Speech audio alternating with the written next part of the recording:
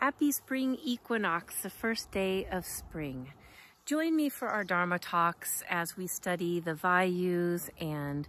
we tie that into this very special time of the year when we move from our hibernation and inward reflection, from our darkness to our light, and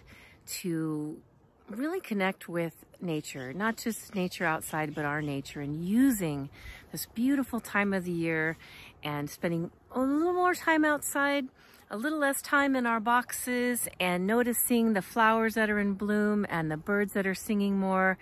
and to allow nature to be our medicine and to open our hearts to what spring has to gift us this year. Happy spring.